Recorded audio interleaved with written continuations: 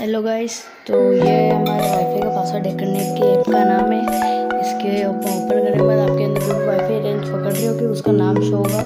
Show password का click करने के बाद एक वीडियो होगा एड चालू होगा। उस एड को पूरा देखने के बाद भी आपको जैसे उसके अंदर